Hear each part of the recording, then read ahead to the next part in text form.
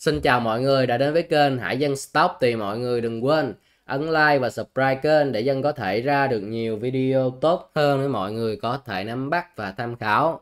Thì hôm nay vn index của ta là một phiên rung lắc khi gặp lại những vùng cản mạnh, cụ thể vn giảm 4,52 điểm so với phiên trước và đóng cửa mức 1115,97 điểm. Giá trị giao dịch ở mức trung bình 17.092,63 tỷ và đang yếu tố phân hóa dòng tiền khá rõ rệt thì hôm nay có rất nhiều nhà đầu tư nhắn tin em rằng ấy. Thì chúng ta bị khối ngoại bán mạnh như thế này 1.557,71 tỷ. Thì liệu chúng ta có sập không em? Thì câu trả lời của em rằng ấy là không. Tại vì chị thấy chúng ta bị khối ngoại bán mạnh nhưng nó có sập đâu nó vẫn cân bằng này và nó vẫn sideways biên độ giao dịch khá hẹp. Trên line nó vẫn là trên line tăng chứ sập đâu mà sập anh chị. Và cũng như chúng ta phải đặt ra câu hỏi rằng ấy chúng ta nhìn vào khối ngoại mua bán để được cái gì? Anh chị có mua bán được theo khối ngoại không? Làm sao mua bán được theo khối ngoại khi họ mua mua bán bán liên tục trong thời gian gần đây? 22, 23 họ bán xong 24, 27, 28 họ mua lại này. Rồi gần đây họ bán trở lại này. Nhà tôi có mua bán được như họ hay không? Anh chỉ phải hiểu rằng ấy khó ngoại là những cái tổ chức lớn họ là những người đầu tư về dài hạn họ có những cái kho hàng tới không? Để họ mua mua bán bán liên tục. Còn tư mình nhìn vào những cái khối ngoại mua mua bán bán thì sẽ không làm được gì cả. Và anh chị có thể nhìn lại giai đoạn năm 2000 mấy ạ. À. năm 2021 đi anh chị thấy từ cái giai đoạn ấy là một nghìn lên đến nghìn hai khối ngoại họ bán rất là nhiều rồi lên tiếp ngàn ba họ vẫn tiếp tục bán. Nhưng chị thấy chúng ta này nó vẫn tiếp tục duy trì đà tăng lên tận một nghìn năm. Đúng chưa ạ? Bạn chỉ có thể kiểm nghiệm lại xem em nói có đúng hay không. Nên chúng ta đừng có nhìn vào khối ngoại làm gì mà chúng ta nhìn vào ấy, là cái trend xu thế thị trường hiện tại nó đã xác nhận trên lai tăng chưa?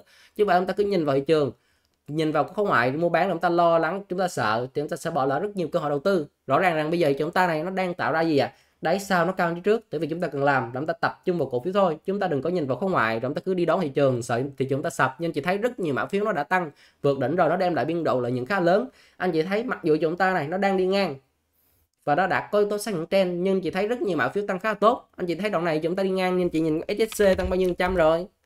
Từ đáy đi lên, bao nhiêu trăm chị? Từ đây lên đây này. 16 trăm. Rồi sau đó chị nhìn quang HAG tăng bao nhiêu trăm? Hơn 30 trăm. Rồi thêm con năm từ liêm nữa. Đúng những điểm mua chị vào chị mua đi. Thì bao nhiêu trăm rồi? Từ đây đến đây này. Điểm tích công thị trường đi ngang này. Nhưng những cái mã phiếu này đem lại biên độ lợi nhuận khoảng 21 phần trăm. Rồi sau đó chị nhìn qua những cái mã cổ phiếu như BSA cái này đúng điểm chị mua đi. Các chị đừng có nhìn vào gì hết. Nhìn vào cái trend của thị trường. Nhìn vào cái cổ phiếu thôi. Đúng điểm chị mua cũng đã lại được khoảng 10 trăm.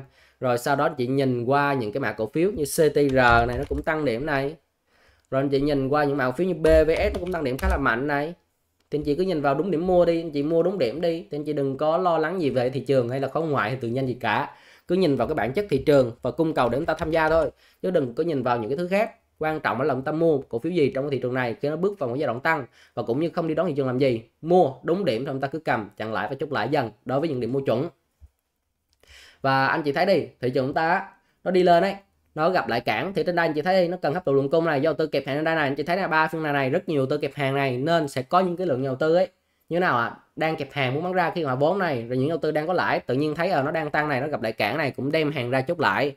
Rồi sau đó thấy, thì chúng ta nó rung lắc dữ quá, sợ mất lại cũng bán ra, và khi hàng cũng bán ra thì sao? Nó điều chỉnh như này là bình thường. Và khi điều chỉnh như này, anh chị thấy nó đâu có gãi được những cái vùng gọi là trên xu thế của nó đâu, thì khả năng ấy, phiên ngày mai nó nhúng nhẹ một tí thôi, về giá khoảng là một nghìn ờ, một trăm mười thôi, rồi sẽ bắt đầu đấy nó sẽ bật tăng lên hướng tới 1150 đó trong dịch phiên sắp tới kịch bản nó sẽ cân bằng đây một vài phiên này sau đó sẽ tiến tới vùng 1150 các anh chị nhìn lại giai đoạn phía trước đi khi mà bắt đầu ấy, từ những cái vùng đá nó phục hồi đi lên. Anh chị thấy đây đi nó xuất hiện một phiên này bùng nổi lên này nó gặp lại cản cũng phải sideways về phiên này trước khi tăng tiếp này. Sau đó gặp lại cản sideways về phiên này trước khi tăng tiếp này sideways phiên trước khi tăng tiếp này chứ đừng có đòi nó tăng hình chữ V được.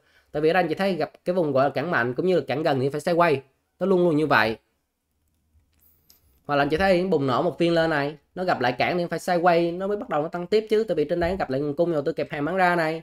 Nhờ tôi đang có lại bán ra này, thì sau đó nó bắt đầu đà tăng. Luôn luôn là như vậy, cái này là cái gì cái bản chất của cung cầu nó rồi. Nên ở đây nó cần sideways về phiên, sau đó sẽ tiến về vùng 1150 ấy. Nên bây giờ chúng ta cứ tập trung vào cổ phiếu là chính chúng ta đừng có sợ thị trường. Giao tin cứ sợ sợ trường, chị bỏ lỡ bao nhiêu cơ hội đầu tư đoạn này rồi. Anh chị thấy có thị trường nào ấy mà nó giảm điểm hay là đau trên mà nó xấu, mà nó tạo ra những mã phiếu tăng trần không? EGC tăng trần này những phim trước, những mã phiếu AG lại vượt đỉnh này SJC vượt đỉnh này, thị trường chúng ta là thị trường trên lai tăng rồi, chứ không phải là thị trường trên lai giảm nữa. Nên cái việc chúng ta cần làm là chúng ta tập trung xem coi cổ phiếu nào mạnh chúng ta đầu tư động phía sau. Và hiện tại mình sẽ phân tích vào những mã cổ phiếu nhiều hơn cho tôi có thể nắm bắt và tham khảo. Còn đánh giá thì chúng ta hiện tại nó vẫn khá ổn, còn không ngoài bán thì kệ nó. Đầu tiên là chúng ta sẽ phân tích về một vài dòng đi. Ví dụ như là về dòng dầu khí đi, hôm nay bị bán cục đầu trở lại này, nhiều tôi nói xấu nhưng thực chất em đánh giá rằng nó có xấu gì đâu anh chị. Ví dụ như lên trên đây này, nó gặp lại gì? Phải đây này, chị kẻ qua đi, nó gặp đúng gì ạ à? đúng cái cản trước này. Thì khi nó gặp lại cản này thì tâm lý đầu tư ờ ví dụ như mua ở đây đi, hoặc là mua ở đây đi, thì nhà đầu tư sẽ canh sao bán cho nó gặp lại cản thì đây, nó gặp lại cản thì những cái nguồn cung đó sẽ bán ra. Rồi sau đó kèm những cái lượng cung này trên đây này, cây này chắc chắn sẽ có nhà đầu tư này đang kẹp hàng muốn bán ra này. Và khi hàng cũng bán ra thì sao ạ? À? thì cầu nó vào yếu thì sao? Nó bị bán ngược trở lại là việc hết sức bình thường. Và khi bị bán ngược trở lại thì đó em ấy, nó cũng chưa phải là một cái dấu hiệu ờ, đạt đỉnh. Tại vì đây là cái thế của nó đang đi lên, trên lại vẫn, trên lại tăng nó gặp lại cản thì khả năng sẽ bắt đầu nó xoay quay lại một vài phiên, sau đó sẽ kéo tiếp. Anh chị nhìn qua những cái thế cung ai đi. Anh chị thấy giai đoạn phía trước đây, nó cũng có những cái phiên bị bán ngược nhưng vẫn có thể lên bình thường. Anh chị thấy phiên này này bị bán ngược này, nhưng chị thấy nó vẫn có thể lên bình thường. Rồi anh chị thấy ở đâu nữa à? Ví dụ như con gì ITA này. Đây, nó cũng bị bán cây cục cái đầu này. Đúng giờ à? nhưng chị thấy vẫn có thể đánh vượt đỉnh bình thường. Rồi anh chị nhìn qua những cái mã cổ phiếu khác đi. SSI hay VCI nó cũng xuất hiện những cái nến cục đầu khá nhiều ấy. Ví dụ như ở đâu ạ à? Ví dụ như ở đây đây nó xuất hiện đến cục đầu này, nó vẫn quay này, hoặc đây anh chị thấy xuất hiện đến cục đầu này. Đúng chưa von cũng lớn này, nhưng vẫn có thể quay vẫn đi lên bình thường. Nên đối với em thì những mã cổ phiếu như BVD này có cứ nắm giữ thêm. Mã phiếu này khả năng ví dụ như nó nó xấu lắm thì nó sẽ quay lại test vùng gáp của nó khoảng 28.5 ấy. Rồi cân bằng sẽ đi lên tiếp nếu tình có cứ nắm giữ. Còn đối với em ấy, thì mua mới chờ đợi vài phiên nữa có thể cân bằng mua được. Đó mà cổ phiếu gọi gì ạ? À? gọi là con BVD này. Thì chị nhìn đây giai đoạn này này nó cũng có xuất hiện những cái nến cục đầu này nếu vẫn cân bằng vẫn có thể đi lên. Rồi đang như thế này xuất hiện nến cục đầu này nó xoay quay hoặc có rủ đâu khoảng là biên độ khá nhẹ nó không gãy khỏi những cái phiên dòng tiền vào nó vẫn có thể đi lên được. Tại vì cái dòng à, dầu khí là dòng hơi đầu cơ một tí nên nó sẽ đánh cái biên độ khá thấp. Ở đây nhà đầu tư thế này nó đến đến cục đầu này hay đang như thấy gặp cản này. Này phải cái cản đó không? Gặp ngay cản này nó bị đánh cái đến cục đầu này rồi vẫn sai quay vẫn có thể như thế nào? Nó rủ vỏ nhịp này nó vẫn có thể đi lên bình thường xem những cái nến cục đầu nó xem nó có đi lên hay không. Ví dụ như ở đâu là cái nến cục đầu nó nữa. Đây cũng là nến cục đầu này. Sai quay phục hồi cân bằng có thể đi lên bình thường. Ở đây anh chị thấy này. Xuất hiện cái nến gì ạ? Xuất hiện cũng cái nến cục đầu này vông to này, nhưng sai quay được vẫn có thể đi lên. Nên những cái mạo phiếu như BVD nữa, gặp lại cản quay bán ngược là chủ yếu nó do bị thường thị trường chung nó bán ngược, nó bán ngược theo thôi, chứ đây nó có gì đâu quá xấu. Ở đây nhìn chung nó quay cân bằng vài phiên nó sẽ tiếp tục đánh tiếp quan trọng là trend của nó vẫn giữ trên lại tăng, thị trường chỉnh nó không chỉnh thì chứng tỏ nó là mã phiếu mạnh. Câu chuyện doanh nghiệp phía sau cũng có. Nếu đầu tư mình có nắm giữ, mua mới thì canh những nhịp chỉnh chỉnh lắp ghép vùng giá khoảng là 28.5 này vào mua được ở đây. Và đầu tư nào mình à, mình mua được điểm mua tốt thì nhìn chung ấy là canh những điểm chỉnh có thể canh mua thêm vẫn được. Còn nếu mà muốn gia tăng đẹp hơn thì vượt khoảng 30 là cái điểm gia tăng đẹp nhất, đó mã cổ phiếu BVD còn mục tiêu của nó thì em đánh giá rằng sẽ lên giá khoảng 33 và là vùng giá 34 trong thời gian sắp tới trên live vẫn trên live tăng, có không có gì xấu đối mã phiếu này. BVS cũng tương tự như vậy thôi, trên live vẫn trên live tăng. Mẫu hình cũng là nền tảng này, trên nền tảng giá này, ba nền đánh lên này, nền một này, tiền lớn đánh lên này, nền hai tiền lớn đánh lên này, nền ba tiền lớn đánh lên này. Đi tăng lên cao gặp áp lực với thị trường chung thì bị bán ngược trở lại việc bình thường. Ở đây nó hở cái gap này, thì cùng lắm thì cầm chờ đợi cho nó lắp lại hết gap, cân bằng một vài phiên chúng ta sẽ canh những điểm chúng ta gia tăng. Hoặc mua mới thì đây điều chỉnh sẽ là cơ hội giao tư mua mới đấy tại vì những mẫu hình ba nền tảng giá sẽ là những mẫu hình gọi là rất là mạnh trên thị trường này, chứ không phải là mẫu hình yếu đâu. Anh chị nhìn qua những mã phiếu như Nam Long này, thường thường nó sẽ chạy từ nền tảng số 3 ví dụ ở đây anh chị thấy đây đây là nền 1 này, nền 2 này, nền 3 này. Sau đó chị thấy này, nó chạy từ nền tảng số mấy? Ví dụ như cân bằng một thời gian này nó sẽ chạy từ nền tảng số mấy anh chị? Nền tảng số 3 này, và khi chị thấy này, nó đang đánh lên này, nó bị bán cục đầu trở lại này, vol lớn này nhưng vẫn có thể tăng lại bình thường. Ở đây vẫn tiếp tục bị bán cục đầu này sau nó vẫn tiếp tục nó tăng bình thường? Nên những mã phiếu như BVS chuỗi nó bị bán cho thị trường chung thôi, chứ nó có xấu đâu. Nên những mã phiếu này này có cái nắm giữ, hoặc là chỉnh là những điểm chúng ta thể tham gia đó, mã phiếu BVS với những mô hình 3 nền tảng giá, thường thường nền tảng giá số 3 sẽ là nền tảng chạy mạnh nhất. Nên lưu ý đó, mã phiếu này, nó không có gì xấu cả.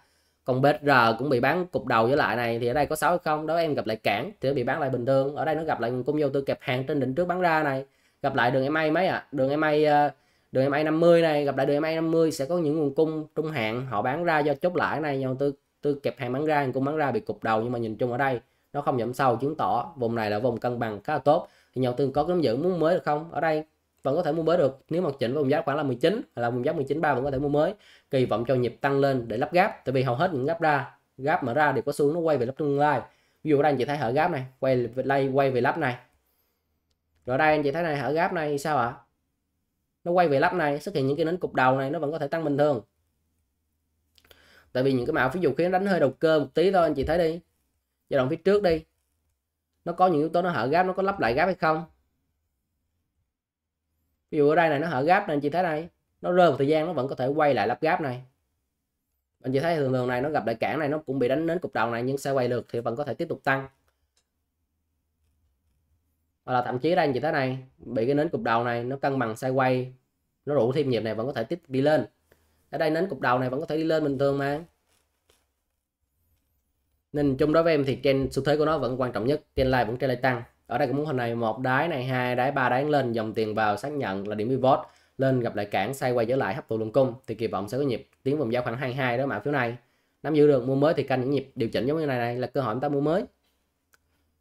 BVC gì thế này nó có sự đồng thuận về dòng hay không? Nó tăng hết thì hết các dòng của nó mà như BCC nó vẫn còn tăng được 4% mà chúng ta lo gì mà phiếu như BVD BVS nhưng mà phiếu này nếu mà nó cục đầu phải cục đầu hết, nó bán bán hết. Nhưng những mà phiếu này chỉ thấy dòng tiền vào nó bị bán đâu. Nó xác nhận dòng tiền cái này quá chuẩn rồi. Khả năng sẽ cần cân bằng sao quay thêm chúng ta có điểm mua. Còn điểm mua mới thì ví dụ như ngày mai nó chỉnh nhẹ nhẹ hoặc về giá bao nhiêu ạ? À? bắt tế lượng giá khoảng 15 6 là cơ hội chúng ta mua mới được này. Dầu dầu khí nhìn chung khá ổn. Mẫu hình à, của nó là va đầu va đó con BVC nên muốn mua thì vẫn có thể canh những cái điểm chỉnh để chúng ta mua quan trọng là trên xu thế của nó vẫn giữ trên xu thế tăng.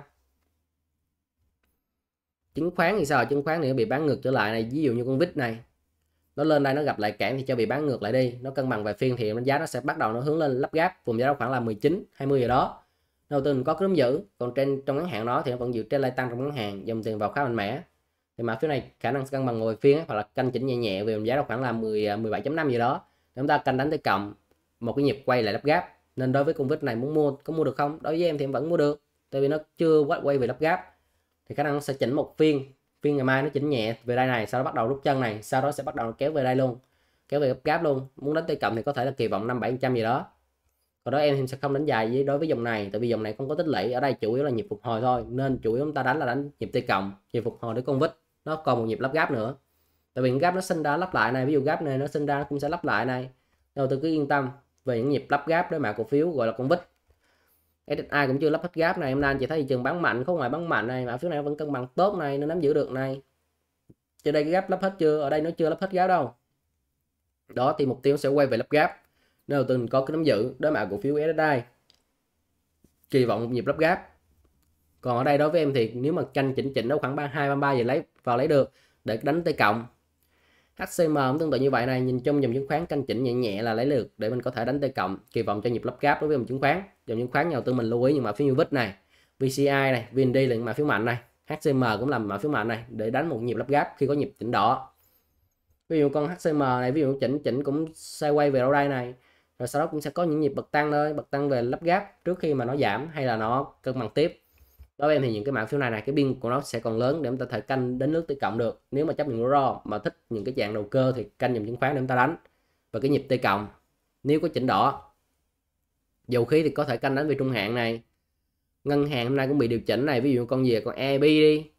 EB hôm nay nó bị điều chỉnh, khi nó gặp lại cản thì đoạn này sẽ cần sai quay thêm nhiều tư nào muốn mới thì sao à? thì phiên ngày mai đánh giá rằng sẽ có điểm mua, ví dụ đây đi. Ngày mai xuất hiện tích cung là con EB nó có điểm mua này đánh giống tương tự như dòng chứng khoán ấy. ví dụ con gì con vít này. Đây, xuất hiện gì ạ? Xuất hiện một cái gì ạ? Dòng tiền vào này. Xuất hiện một cái dòng tiền vào mạnh mẽ này. Đó, sau đó bắt đầu tạo ra biên sideways này. Test này một đáy hai đáng lên này. Xuất hiện no sập tề test cung này. Breakout break out này. Thì AB chị thấy hôm nay xuất hiện cái gì ạ? À? phiên no supply 3 này. Ở trước cũng là dòng tiền vào này. Trend của nó thì vẫn giữ trên lại tăng. Xuất hiện no sập này, ngày mai xuất hiện tết cung là điểm mua để đón một cái phiên bùng nổ nó. Ví dụ như đoạn nào ạ? à? Ví dụ như ờ, như đoạn đoạn nào anh chị? Ví dụ giống đoạn này này. Xuất hiện dòng tiền vào này, cũng sẽ quay một thời gian này. À, đó, xuất hiện phiên gì? No sập tết cung này, phiên sau nổ này. Ví dụ đây cũng xuất hiện này, no sập này tết cung này, phiên sau nổ này. Nên đó những mà cổ phiếu này đấy, nó có một phiên dòng tiền vào rồi xuất hiện phiên gì à? No sập mai tết cung là điểm mua, chúng ta kỳ vọng cho nhịp đánh t cộng đó mà cổ phiếu EB nên có thể quan sát phiên ngày mai được đó EB này, có thể canh để vào nếu mà xuất hiện tết cung, đóng cửa các phiên rồi tiếp tục STB thì sao nó quay về test đáy. Và nó cũng khá bé. Thì nắm giữ thêm, nếu mà mai xuất hiện thích cung có thể canh vào chúng ta mua. Đó, để chúng ta đánh t cộng. Dòng ngân hàng thì đánh giá rằng ở chỉnh đỏ thì chúng ta sẽ có nhịp để chúng ta đánh t cộng ấy. Nên khả năng ngày mai em sẽ canh vào đánh t cộng đối với dòng ngân hàng khi nó đang có những sự vận hành khá tốt. LB cũng tốt này, cân bằng khá tốt. Vol nó bị bán đâu OCB vẫn ổn này. Cũng sẽ canh vào đánh t cộng này. Dòng tiền vào này, test đâu khoảng hai đáng lên này phiên hôm nay này xuất hiện có thể là nô đỉnh 3 đi, ngày mai xuất hiện tích cung sẽ vào. Ở trên đây nó còn cái gap chưa lấp lại này, ngày mai em sẽ canh vào đánh ngân hàng. Nếu mà xuất hiện phiên tích cung. Còn nếu mà nó dấu hiệu tích cung là những nào, là đầu phiên giảm nha. Ví dụ đầu phiên đạp xuống nhẹ nhẹ cái, cuối phiên kéo lên đóng cửa cân phiên, thì nó sẽ là phiên tích cung chuẩn. Rồi sau đó sẽ có một phiên nổ. Ví dụ đây như chị thấy đây. Đây xuất hiện này, một phiên gì ạ? No sập này. Đó, phiên sau tích cung này, thì sẽ bắt đầu nó sẽ có phiên nổ. Ở đây no sập tích cung này, nó cân bằng này, sẽ có phiên nổ. Thì em sẽ đánh được một cái nhịp, gọi là break lên của nó. Hay đây, nhìn thấy xuất hiện gì ạ? No sập tích cung đó, đầu nô sập này, nô sập này, nổ này. Thường thường những phiên đó sẽ đi chung với nhau, nên kỳ vọng ngày mai sẽ phiên tích cung đối với dòng ngân hàng. Nên, nhưng mà khi dòng ngân hàng nổ sao? Thị trường nó sẽ ổn lại ngay. Nên đối với dòng ngân hàng chị thấy vẫn tích lũy khá tốt này, nên ngày mai lưu ý đối với dòng ngân hàng ấy tích cung sẽ vào mua. Để chúng ta đánh một cái nhịp nổ chúng ta sẽ đảo dòng tiền qua dòng khác để chúng ta đánh. Rồi, tiếp tục dòng thép. Thép thì như thế nào? Thép như HSG này sideways khi gặp lại cản thì chúng ta cứ nắm giữ thêm còn à, điểm mua mới đó mình thì phải cần sideways thêm vài phiên nữa. Ví dụ như một cái nền đủ mua thì chúng ta phải chờ gì? Cái nền tích lũy từ 5 đến 7 phiên. Ví dụ nền này này từ 5 7 phiên mới có nhịp nổ lên nó sẽ an toàn. Cái nền nó phải tích lũy từ 5 7 phiên như thế này mới an toàn. 5 7 phiên này nó nổ lên mới an toàn chứ nền mà tích lũy đâu 3 phiên này mua nó sẽ không an toàn nó sẽ rất dễ dàng bị rủ có thể kiểm nghiệm lại ví dụ đây này cái nền tích lũy không đủ sao nó sẽ dễ bị rủ nhưng mà tích lũy đủ sao nó sẽ dễ dàng nó lên. Ở đây như thế tích lũy đủ chưa? Nó tích lũy chưa đủ này khoảng hai phiên chưa đủ đâu phải chờ cho tích lũy từ 5 7 phiên ta sẽ tham gia những mã phiếu như HBG năm kim, tương tự như vậy. Chờ cho tích lũy thêm. Thương mại như DG World sao ạ? Gặp lại cản lắp gáp thì cho nó quay lại thêm thôi, chứ ở đây thực chất điểm mua mới chưa có, von của nó cũng tương đối lớn, biên độ của nó cũng tương đối đối lỏng, nên hiện tại chưa điểm mua này. FPT nhìn chung test cung điểm mua đẹp nhất rồi. Còn bây giờ có cái nắm giữ và canh chặn lại chốt lãi này. Nếu mà đánh tay cộng lên đây chốt lãi được này, rồi chờ nó tích lũy lại thêm. Mở lưu G thì ở đây này sai quay lại có thể mua được này, để đánh một nhịp tay cộng về lắp gáp để mã cổ phiếu MLG G nhà tư muốn đánh thì sao con mở vào đánh được này? Khả năng ấy. Ngày mai con này sẽ kéo để dự trận thị trường ấy. Lưu ý đối với MLG G rồi đi qua thêm một vài mã phiếu bất động sản ở đây BCG hôm nay cũng tăng khá mạnh này nhưng gặp lại cản bị bán ngược lại thì khả năng sẽ cần cân bằng thêm. Ví dụ ở đây anh chị thấy đây một cái mã cổ phiếu ấy, nó tăng lên nó bị gặp lại cản sao à? Nó bị bán ngược trở lại bình thường này. Nó bị bán ngược trở lại là bình thường này nhưng mà khi nó bán ngược trở lại thì nó sẽ cần gì một biên độ cân bằng thêm cân bằng thời gian ta sẽ có điểm mua. Khi nào xuất hiện no support cũng ta mua chúng ta sẽ không phải chờ đợi giai đoạn tích lũy của nó. Còn ta mua trước chúng ta phải chờ đợi thôi. Ví dụ khi xuất hiện những phiên gì à, bán ngược này nó phải cần cân bằng lại này. Thì phiên nay bị bán ngược thì nó sẽ cần cân bằng lại thêm. Nên đối với mình thì sẽ cần một yếu tố tích lũy khoảng 5 7 phiên nữa chúng ta sẽ tham gia. DG hôm nay vẫn mạnh này thị trường chỉnh nó có chỉnh đau chứng tỏ nó mạnh này. Gặp lại cản thì mình sẽ sai quay lại thêm. Và đối mã phiếu này nó phải lên lắp gáp thì lúc đó chúng ta sẽ canh ta chốt lại. Còn đối mình thì mua mới thì chưa mới, tại vì nó đang dao động với biên độ khá là lỏng HDC này, chờ đợi mua HDC lần này, ở đây nó sẽ cân bằng đâu khoảng 5 7 phiên sẽ có nhịp bùng nổ ấy đối với mã cổ phiếu gì ạ à? đối với mã cổ phiếu như con HDC này nhìn chung thì vai này, đầu vai này đang tạo ra gì ạ à? đang tạo ra vùng cân bằng, giống như đoạn này này, tạo ra mẫu hình gì ạ à? mẫu hình này vai này, đầu này, ở đây vai này, cân bằng sideways này trước khi nó có những cái nhịp nổ lên thường thường sẽ đánh như thế. Đây này vẽ lại cho tôi dẫn vô này. Đây cọ vẽ đi. Vai này đầu này đúng chưa à. đây là vai phải này. Đó trước khi đánh lên thì sao ạ? À? nó tạo ra biên tích lũy và sideways này. Xuất hiện no sập này. Đó tích cung thì sao ạ? À? break out này. Nó sẽ đi vào cái phơm như thế. Thì mà phía này cũng đang mẫu hình vai, vai đầu vai. Ở đây cân bằng một phim ta sẽ canh vào mua dần dần để mã phiếu HDC nếu mà tích lũy tốt. Còn bây giờ nắm giữ được này khi xuất hiện điểm pivot chưa gì quá xấu đối mã phiếu này. HDG hôm nay cũng kéo khá đẹp này. Nhìn chung điểm pivot này lên đây cân bằng, tích lũy vài phiên sẽ có điểm mua mới. Nhìn chung con này cũng sẽ canh mua được này. Tại ra mẫu hình này, vai đầu ở đây khả năng là vai phải. Kỳ vọng của nhịp kéo lên lắp cáp cùng giá đó khoảng là 31 ví dụ đây, anh chị thấy tạo ra một vai này, đầu này, vai này. Sau đó khi mà có dòng một dòng tiền vào, nó gặp lại cản, thì sao à? đây này nó phải cần tạo ra biên xe quay này, xuất hiện nô sập tích cung vào mua được này. Nên cứ chờ đợi những điểm tích cung đó chúng ta mua điểm mua chuẩn rồi sau đó cầm, cho nó kéo, chứ không phải chúng ta cứ mua mua bán bán. Trong ngắn hạn thì rất dễ dàng thua trong một cái thị trường nó đang xe quay. Nắm giữ được. Novaland này cũng bị bán cục đầu với lại, thì nhìn chung nó phải cần cân bằng thêm này. BDR cũng vậy này. Thì nhìn chung cũng đã đi sơ lược qua dòng thị trường, thì em đánh giá rằng thị trường ta vẫn ổn, không gì quá xấu. Nó đi lên nó gặp lại cản thì bị bán, chốt lãi là bình thường. Ở đây nó sẽ có kịch bản gì, ngày mai nó giảm đỏ, xong nó sẽ rút chân xanh đó, rồi sau đó một vài ngày tới sẽ tiến về giá 1150 quan điểm của em là như vậy. Còn trend thì nó vẫn duy trend lại tăng thôi. Còn những mã phiếu chú ý, chúng ta có thể chú ý dòng dầu khí này, dòng ngân hàng, phiên ngày mai này. Rồi có thể chú ý một vài mã cổ phiếu của dòng bất động sản ở thời gian sắp tới nếu mà cân bằng tốt. Thì cảm ơn nhà đầu tư đã lắng nghe ủng hộ kênh. Còn chị thắc mắc gì có thể comment những video để dân có thể là hỗ trợ từ một cách tốt nhất. Còn chị đầu tư nào mà muốn vào cái room gọi là room cộng đồng ấy thì ở dưới phần video này em có ghi một cái gì ạ à? ghi một cái uh, cái link để đầu tư có thể là vào luôn cộng đồng này